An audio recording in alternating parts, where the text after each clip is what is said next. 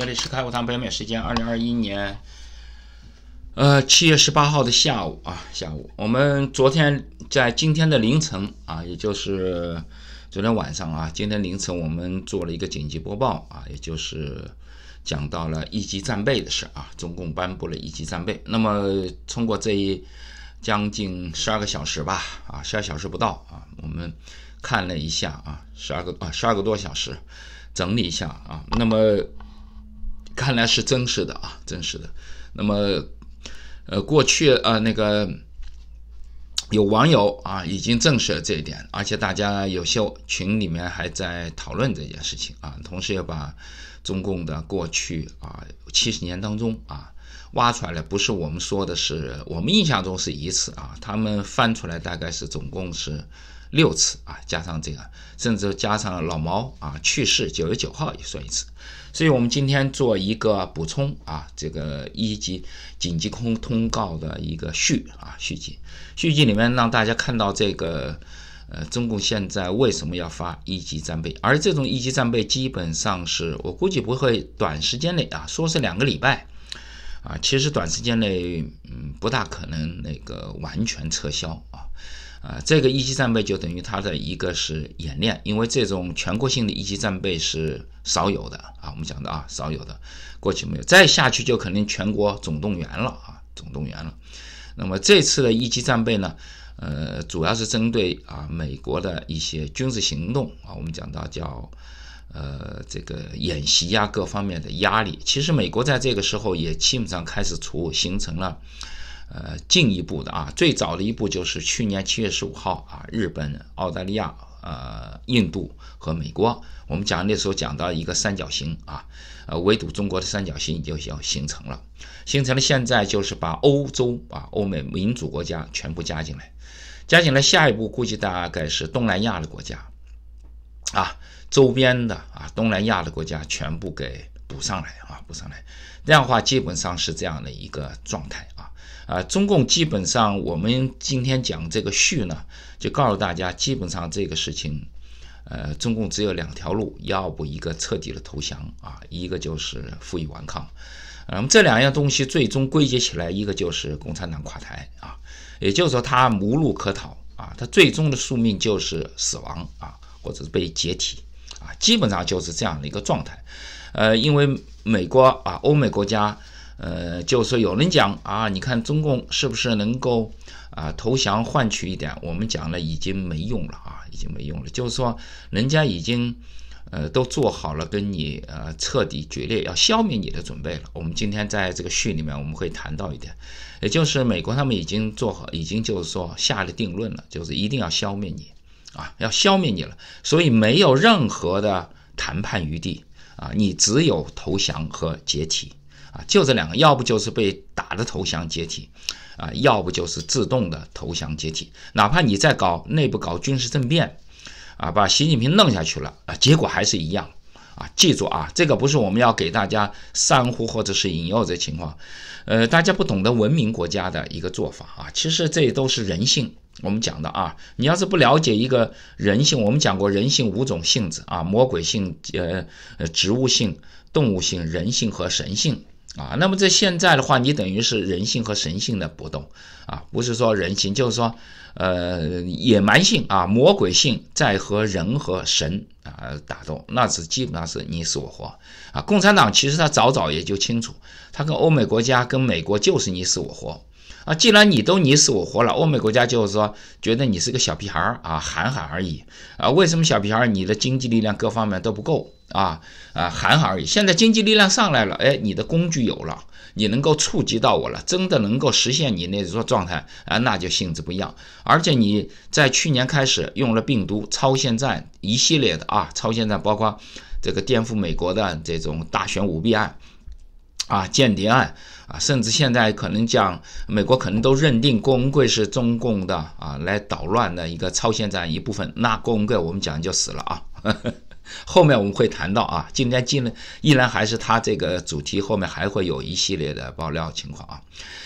呃，那么这样在这种背景情况下，我们讲到啊，一定要讲到大背景，这个时候不是对等了啊，对等的时候你可以谈判，现在不是对等了啊，现在是你死我活啊。共产党也讲到你死我活，所以美国基本上也已经下定了啊这方面的呃决心了啊，已经。另外，他的武器装备、人员调配，所有东西都是围绕着这个来的，而且已经全部到位。全部到位，你想想啊，等到你全部到位了，你突然来一个说，哎，咱们求和吧，啊，你开玩笑呢？你把谁当谁耍呢？开玩笑呢？啊，那不可能退回去了啊！所以理解这一点，你比方你都大老远的带了那么几千人马、上万人马过来啊，你开始跟你打架啊，对方呢觉得牛逼啊，带了家族几十个人把你打趴下来了。然后呢，你呢啊回家动员了啊，这几千几万，甚至是借兵借将，花了钱撸了一大堆过来了。然后你说呀，对不起呀，我们弄错了，过去有眼不识泰山行了啊，你就晃忽悠过去啊啊，有可能吗？没门儿啊！人家几几千几万人带了过来，好，你原来几十个人欺负他，欺负我一个人，然后你最后想糊弄过去啊，没门儿啊！那么是行，表面上接受你，但是下面一个就要肢解你。要不你就跟我不决一死战啊！决一死战，反正钱也花了啊！这几千几万人借来的兵也好，干嘛来的兵啊？就是要消灭你的，消灭你，他们目的是就消灭你的啊！消灭，所以不在乎牺牲不牺牲啊！大家记住这一点，那个时候已经跟牺牲没关系了啊！那个时候就是一个目标啊，消灭你啊！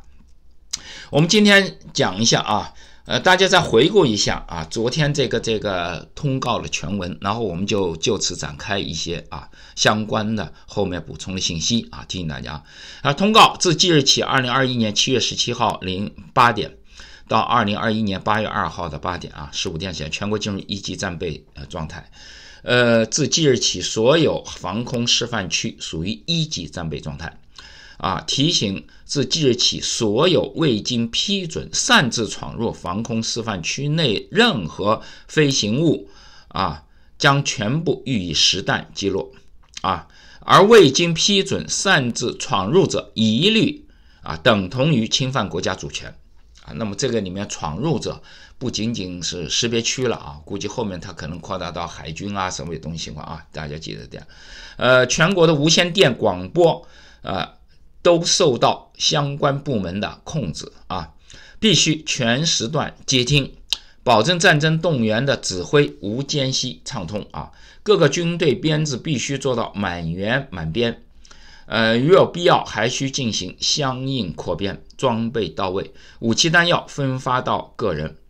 军队人员取消一切休假，停止军队的一切退伍和转业工作。啊，武警民兵预备役全部啊待命，战时行动后方后战时行动后方响应，物资储备和生产运输，还有医疗保障都执行先军政策。所属预备役无条件啊无条件回到所属单位，包括二十六个导弹导弹旅全部进入一级战备状态。地方做好一切资源后备工作，做好预备役士兵。呃呃，回归队准备工作，所有官兵取消一切休假。啊，我们讲的啊，这个是中共中央啊，军事呃，中共中央啊，呃，中华人民共和国中央啊，中共中央军事委员会颁布的啊，七月十七号颁布的啊。我们讲到，那么这个枪弹发回去，你再收回来，可能不是那么简单啊。我们讲到的啊，内外都有这样过程。你包括之前的讲，呃，行政权下放，下放到街道。啊，那么就跟这个是配套的啊，大家肯定想象想象不到啊，行政权下放到街道就是跟这个一级战备是配套的，呃，那么行政权下放了以后，你还想再收回来吗？没那么快啊。刚刚讲它不是演习，过去讲到演习，所以估计这个一级战备是常态化，也许在后面的两个礼拜当中，可能他还说一级战备延长啊，也就是不是说到八月二号啊。啊，这个是希望大家啊了解这样的。那么我们回来看看中共在什么情况下颁布过一级战备啊？一级战备，我们先看啊，网友啊拿出来了这样的一个东西，他说一共有六次啊，一共有六次。我们我们不给大家给大家展示一下啊，一个文稿啊，一共有六次。呃，他抗美援朝啊，第一次应该是抗美援朝啊，又。呃，又称抗美援朝运动或抗美援朝战争啊，是二十世纪五十年代初爆发的朝鲜战争的一部分。啊，当时我们还没出生呢，对吧？再一个，当时那个刚刚内战结束，大家习以为常，什么一级战备不一级战备，反正一一回事啊，就是抗美援朝五十年的啊。一九五零年七月十号，那就是四九年所谓登上天安门一年不到啊。呃，中国人民反对美国侵略台湾朝鲜运动委员会成立，抗美援朝运动自此开始。十月，中国人民解放军志愿军赴朝。作战拉开了抗美援朝战争的序幕啊！这第一次据说啊，第二次，一九五八年八月二十三号啊，估计是金门炮战吧啊，呃，中国人民解放军发动了哎对炮击金门战役啊，他这一说时间点，我们大概就知道，因为那个时间点有最紧张，大概是个啊金门炮战啊，呃，数万发炮弹不断沉重打击国民党军队，也彻底粉碎了美国企图妄图分裂中国的阴谋啊。那么这两我们先讲啊，这两次都是一种战争行为。啊，他们都担心美国会打过来，所以他搞了一级战备。啊，抗美援朝不用说，你派兵过鸭绿江去支援，呃，什么的金日成的不啊军队，那就是开战。开战的话，他担心这战争扩大啊，战争，所以他是一级战备。第二个，五八年他是主动炮击金门，炮击金门的话，那个时候是因为有美国的呃航空母舰啊，那个时候应该保卫台湾嘛。保卫台湾在台湾海峡里面护航啊之类，啊，其实中共就是表示一下啊，所谓这个意志一样的，因为金门跟厦门是看得很清楚，你在厦门岛，呃，抬眼能看到，目眼啊，目视都能看到金门岛，很近，大几多少公里，几十海呃十几海里，我估计大概十几，我忘了，具体大概是啥样。那么金门到台湾那中间是台湾海峡，那隔得远啊，所以在金门岛的那个东边，东边美国。帮助啊，国民党在运兵啊，所以他这个炮弹也就是象征性的，但是他不知道对方什么反应啊。其实他已经告诉人家啊，打一打就是显得啊，台湾是中国的领土，我们还有接触，要是不接触，老子不相往来也不行啊。所以他其实是这样的一个意思啊，其实他打是打不了的啊，啊，象征一下啊，我们觉得他是象征性的一个一个情况啊，都是这样。但是他不知道对方的反应，因为对方反应起来，所以他就要搞一个全国动员啊，这是第二次。第三次，一九六九年三月啊，那我们昨天说错，我们说是六八年了，还是六九年三月？呃，苏联军队几次对黑龙江省乌苏里江主航道中心线中国一侧的珍宝岛啊实施武装入侵，那就珍宝岛战役啊入侵，并向中国岸上纵深地区炮击。中国边防部队被迫进行自卫反击，苏联扬言要对中国进行核手术，就是核战争啊。在这样情况下，中国深挖洞、广积粮，全国启动一级战备。啊，这个是的，因为那个时候咱们也知道啊，和勃列日涅夫要和平中共啊，这个被美国制止了，所以这是六九年三月，随后七零年就开启了中美建交的啊序曲，我们讲的啊序曲一样啊接触下来啊，救了中共。第四次七六年九月九号啊，老毛去世啊，这个是大家知道，老毛去世中对中共来讲，专制独裁讲，呃老头儿啊总算死了，下面是不是稳定不稳定？那个一级战备主要是针对国内的。啊，不是针对国外的，是针对国内啊。他害表面上好像害怕外界不是，是针对国内的内乱啊，包括四人帮他们底下要开始干的。所以他让了一级战备，一级战备以以后呢，他有一个特点，向心力，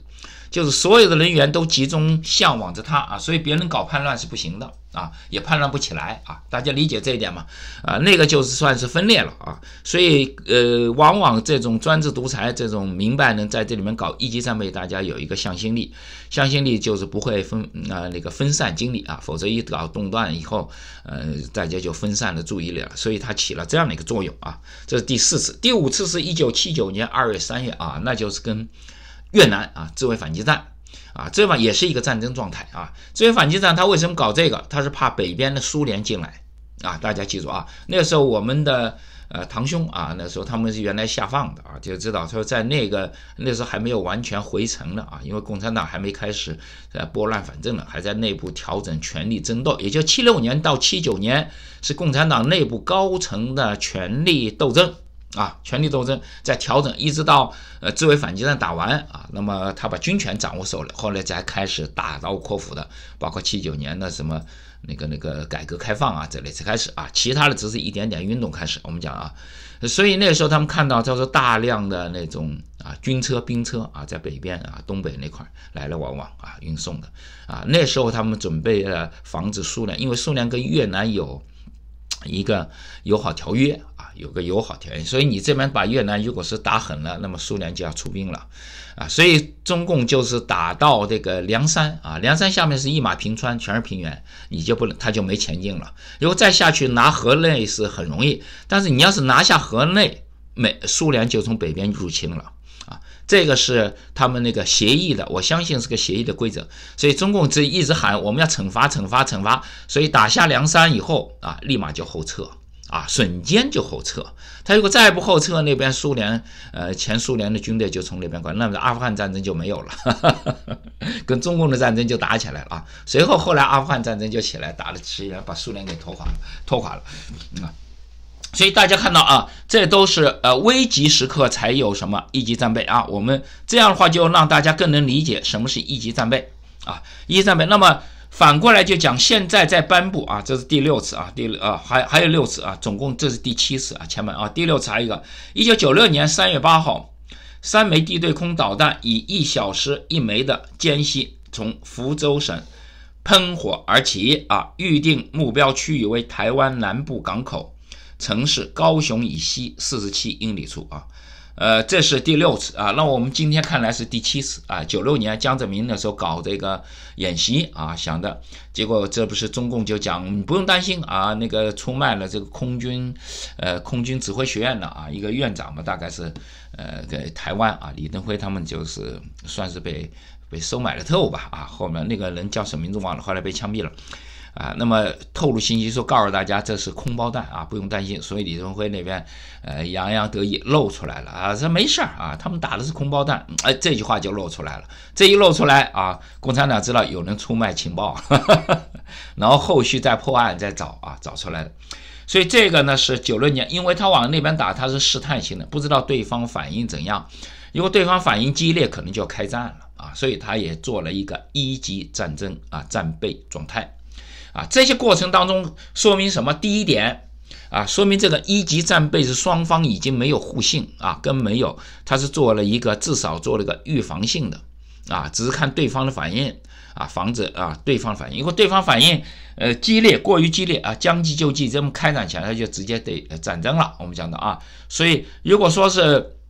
这是一个啊，那么另外在这个时候，我们认为他是做一些。战备的准备啊，或一个测试啊，测试，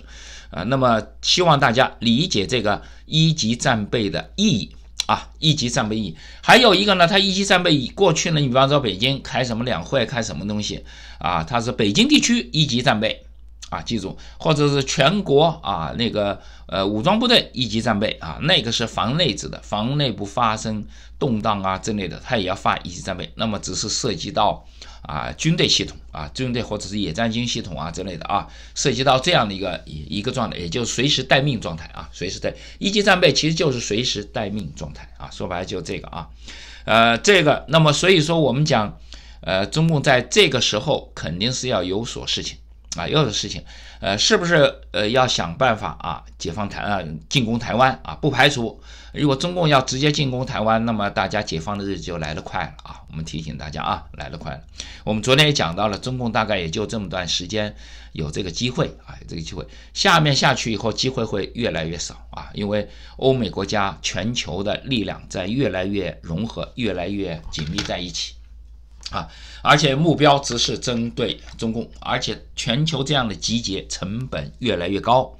成本越来越高，它不可能就是让你随时随地消化掉的啊！呃，你不能说人家大军就压进到这边来了，你说我一投降人家就算了，那你能让你赔款，你又赔不起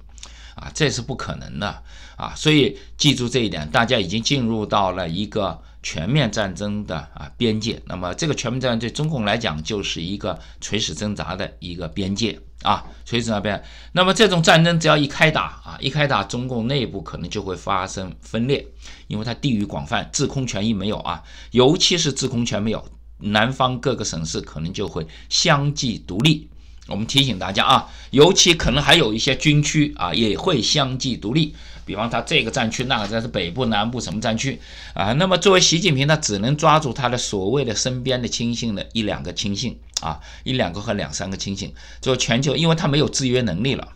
啊，制制空权一失去以后啊，那么对方一投靠有制空权的，对方力力量就如虎添翼啊，也就是说，比方说西南军区独立。啊，西南军区独立，那变成国内的军阀混战了，是吧？军阀混战，然后他就会投靠欧美国家啊，比方投靠欧美国家，在制空权的主导下，那么习近平那些嫡系过去所有所谓的优势就不存在了，稍微动一动就会被灭掉。大家可以看到，萨达姆啊侵略那个科威特的时候，完了以后，只要美军一开始上线啊，在科威特一登陆啊，登陆上去，你像那种登陆上去以后，萨达姆再投降已经没用了。啊，他说我要侵略完了，我就赶回来，已经没用了啊！人家武器装备都上来，这么大的成本，这么大的东西，那就是说一定是消灭你的啊！所以他那时候的优势就变成弱势了啊！大家，他对科威特是优势，而美国加持在科威特身上，那等于他对了美国来讲，对了欧洲北约国家来讲，他就是一个弱势啊！这一个弱势呢，基本上就是只有被动挨打的份儿了啊！那么那个时候大概。全国各地可能就是纷纷的所谓的起义啊，我们讲到啊，起义就纷纷就开始了啊，基本上是这样的一个状态啊。好，这是我们讲到的呃这个一部分的上半部分。下面我们看看呃国际上是不是有这样的一个趋势啊，就是要消灭中共的趋势，你看一眼就知道了啊。那么为什么中共要搞一级战备？而且他现在的所有的政策，基本上你可以看到不顾死活的啊，在进行最后的垂死挣扎。啊，你包括数字货币好，呃，供销社也好啊，呃，还有这个权力下放到基层啊，都是防权力下放到基层是防止地方再在捣乱啊，呃，地方再出来些散兵游泳的游击队之类，他就麻烦了啊。但这个东西确实是挡不住的，所以我们告诉呃现在的国内的基层干部们啊。这是你们最后立功啊受奖的时候。如果说你们不相信，还听了共产党的话走，我告诉你，你跟着他起哄的时候，随后在呃共产党失去制空权了以后啊，那么你们这些人就会被地方的民众给啊脑袋拴到城门楼上去了啊，可能都会干掉啊。提醒大家啊。这个是一点不是呃给大家恐吓和谎言的啊，因为大家都憋了气，没有杀气的对象，人家杀不到习近平或共产党其他高官身上，一定会杀到身边这些作为他们的狗的啊那个那个呃人员身上。那么谁是作为他狗？那么就是基层的这些呃街道干部啊，记住啊，街道干部、基层的公检法人员。啊，千万记住，还有城管啊！我告诉城管那帮人呢，也乌合之众，随时也会反过来的啊！呃，但是呢，这些人都是杀气对象。我告诉啊，还有一些协警，嗯，大家别以为那个时候你们牛逼，年轻人凑在一起，到最后民众上来，那个时候大家就不管了啊，因为没有人去追责了，就会把你们往死里整啊！我告诉大家，呃，割脑袋干嘛？情况砸死的，那是很正常了啊！然后这样的话，才能把你们这些在共产党情况下聚集起来做鸟兽散啊！做鸟收菜，这个是，然后地方就会开启自治啊，当然这个自治是有一个过程，然后也可能你们还会纠集量再重新翻覆过来啊，回过来这地方再开始形成力量，开始反击，那么形成自治，基本上是这样的一个流程和过程啊。我们提醒大家啊，好，这是呃序的上半部分啊，我们下面再讲第二部分啊，OK。